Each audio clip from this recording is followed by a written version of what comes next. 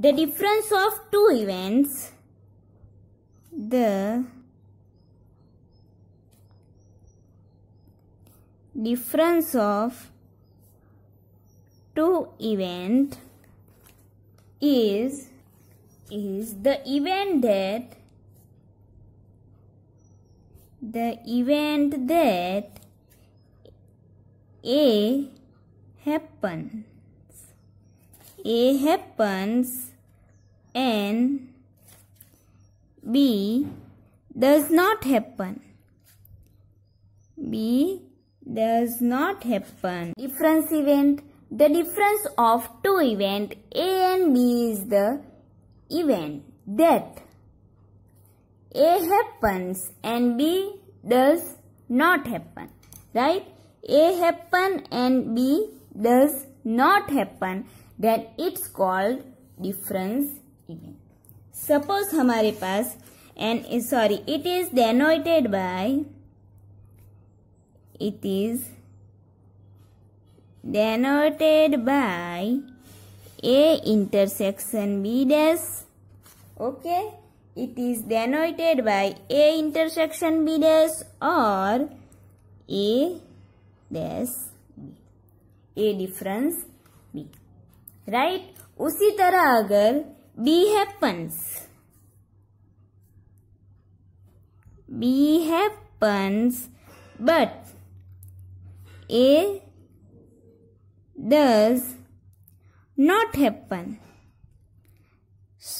Then it is denoted by B intersection A dash or B dash A.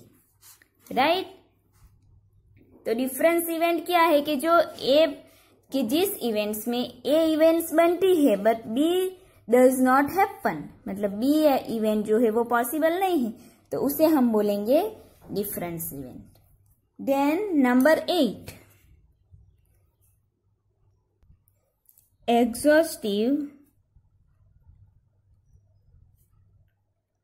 Event okay Okay, what is exhaustive event? If all possible outcome of an experiment are considered, the outcome are said to be exhaustive event. Write the exhaustive events are nothing but all the sample points in the sample space. Right right? यहाँ पे हम exhaustive event किसे बोलेंगे कि suppose हमारे पास A is equal to है one two three and B is equal to है फोर फाइव सिक्स एन हमारा यू है।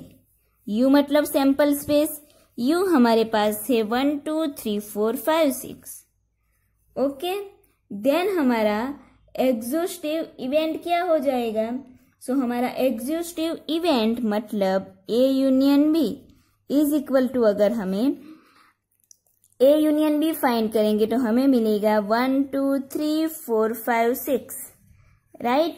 So ये जो ए यूनियन बी है, वो हमारा क्या हो गया? यू यानी कि सैंपल स्पेस तो ये हो जाएगा एग्जोस्टिव इवेंट ओके कि if all possible outcome of an experiment are consider मतलब जो भी पॉसिबल आउटकम सभी के सभी जो भी आउटकम है, उसे हम कंसिडर करते हैं, सभी आउटकम को तो उसे हम बोलेंगे exhaustive event right nine mutually exclusive events events are said to be mutually exclusive if they cannot occur together. For example, the occurrence of any one of them prevents the occurrence of a remaining.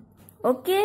मतलब कि जो एक events के होने से बाकी की जो सारे इवेंट्स है वो पॉसिबल नहीं है तो उसे हम बोलेंगे mutually exclusive events, right?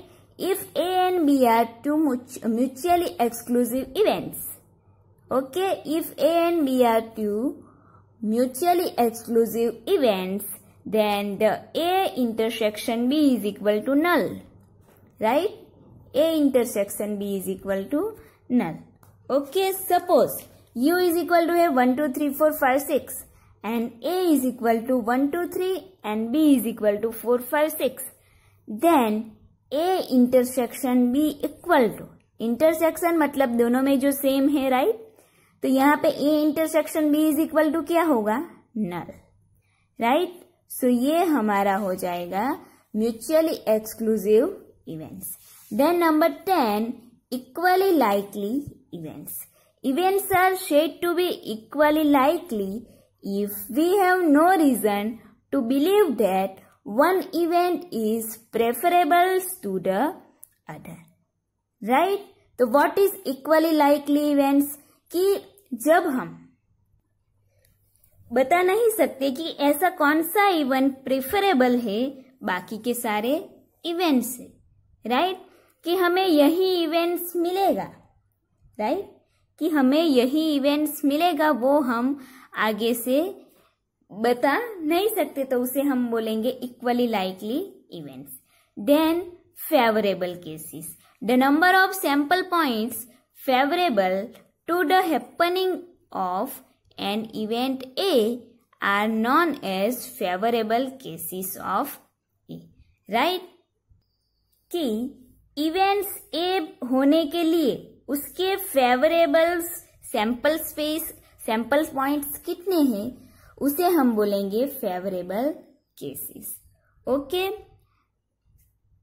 then number twelve independent event if the happening of one event does not depend upon the happening और non happening of other events it's called independence event right कि जो भी एक event है, वो दूसरे events पे depend नहीं करता। तो उसे हम बोलेंगे इंडिपेंडेंस इवेंट ओके तो यहाँ पे जो हमारा टर्म्स थे प्रोबेबिलिटी के इम्पोर्टेंस टर्म वो यहाँ पे हमारे खत्म होते हैं. देन नेक्स्ट है डेफिनेशन ऑफ़ प्रोबेबिलिटी तो वो देखते हैं कि व्हाट इज़ प्रोबेबिलिटी राइट तो उसकी डेफिनेशन आपको टेक्स्ट बुक में दी हुई है.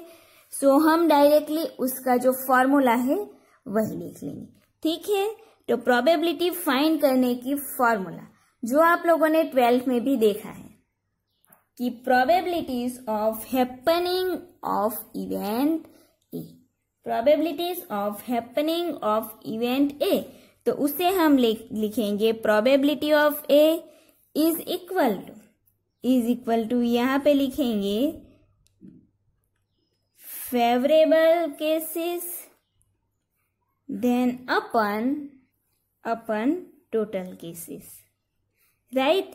ये सिर्फ़ समझने के लिए है कि probability of X is equal to favourable cases upon total cases तो यहाँ पे favourable cases is equal to हम एम लिखेंगे and total cases total cases मतलब total possible outcomes okay total possibles outcome तो उसे हम लिखेंगे equal to m okay then then zero less than equal to probability of A less than और equal to one means यहाँ पे जो भी प्रोबेबिलिटी ऑफ़ ए की वैल्यू मिलती है वो ऑलवेज ज़ीरो यहाँ पे होगा ज़ीरो लेस देन और equal to P of A less than और इक्वल टू वन मतलब वो क्या होगी? ज़ीरो एंड वन के बीच में। ओके, ज़ीरो या वन या फिर ज़ीरो से लेके वन तक ही पॉसिबल है।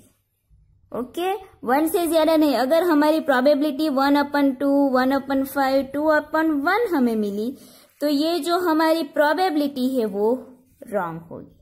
ठीक है तो probability is always zero to one ठीक है?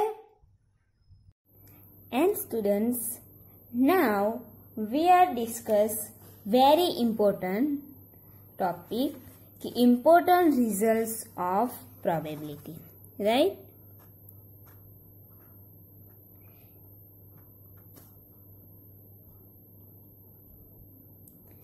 Important result of probability. Probabilities कि यहाँ पे जो इम्पोर्टेंट रिज़ल्ट होंगे प्रोबेबिलिटीज के, उसका यूज़ हम जब एग्ज़ाम्पल सॉल्व करेंगे, तब करना होगा। ठीक है? तो आप यहाँ पे टोटल थर्टीन इंपॉर्टेंट रीजंस तो सबसे पहले देखेंगे नंबर वन नंबर वन क्या है? कि probability of happening of an event A. right कि probability of happening event A happening event A okay probability of happening event A तो इवेंट ए होने की प्रोबेबिलिटी क्या होगी? कि उसे हम लिखेंगे प्रोबेबिलिटी ऑफ़ ई से राइट कि probability of happening event A is equal to probability of A so अगर हम यहाँ पे प्रोबेबिलिटी ऑफ़ ए फाइंड करते हैं तो उसका फॉर्मूला क्या होगा कि equal to m upon n right equal to m upon n. So यहाँ पे जो m है, वो हमारा क्या होगा? यहाँ पे m is equal to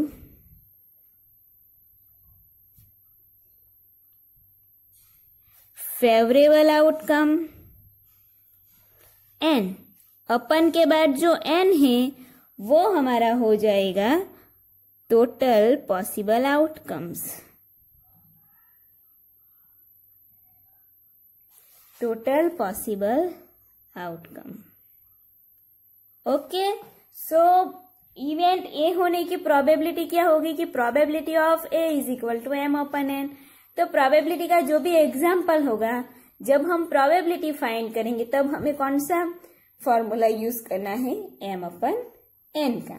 then number two कि प्रोबेबिलिटी सबसे पहले हमने इवेंट ए होने की प्रोबेबिलिटी फाइंड अब अगर हमें इवेंट ए नहीं होने की प्रोबेबिलिटी फाइंड करनी है मतलब नंबर टू क्या होगा? कि number two probability of non happening event A कि probability of non happening event A तो उसे हम बोलेंगे probability of A dash right probability of A dash बोलेंगे। ओके तो प्रोबेबिलिटी ऑफ़ ए डैश का फॉर्मूला क्या होगा?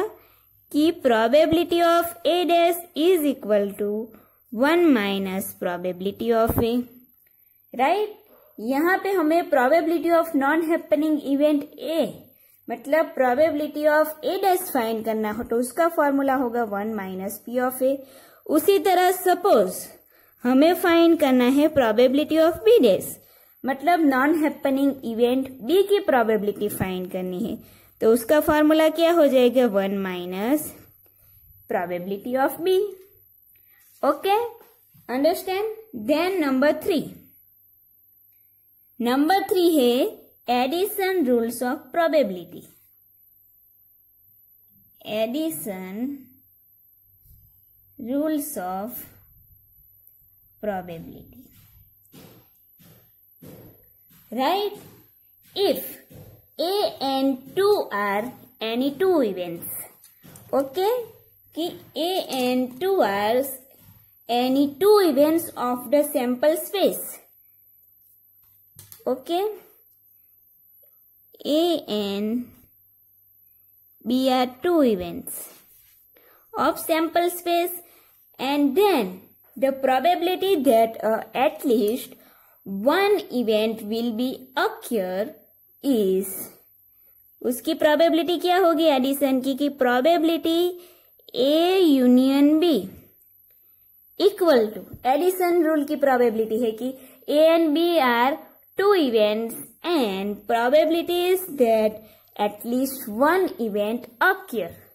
तो उसकी प्रोबेबिलिटी क्या होगी? Probability of A union B equal to probability of A plus probability of B minus probability of A intersection B right तो एडिशन रूल क्या हुआ कि probability of A union B equal to probability of A plus probability of B minus probability of A intersection B. Then number 4. A and B are if A and B are mutually independent mutually independent event then अगर ये दोनों mutually independent event हुए then के P A union B A intersection B is equal to P of A into P of B right अगर दोनों independence event है तो उसका इंटरसेक्शन क्या होगा कि प्रोबेबिलिटी ए इंटरसेक्शन बी होगा probability of A into probability of Okay. Then number 5. Okay, if A and B events are independent. If A and B are independent, then number 1. A dash and B. Number 2. A and B dash and number 3 A dash and B dash. मतलब ये तीनों are also independent okay कि अगर A and B जो event है वो independent है तो ए मतलब ए क्या होगा? कि event non happening of event A. So A dash and B, A and B dash and also A dash and B dash independence event. Okay. Then number 6. If events A and B if events A and B mutually exclusive, mutually exclusive, then then mutually exclusive में हमने देखा था कि A intersection B क्या हो जाएगा? Five right तो if events A and B are mutually exclusive then probability of A intersection B is equal to probability of null set probability of null equal to zero right अगर दोनों events mutually exclusive है तो उसका, उसकी intersection की जो भी probability है, वो क्या हो जाएगी? सी ठीक है? Then number seven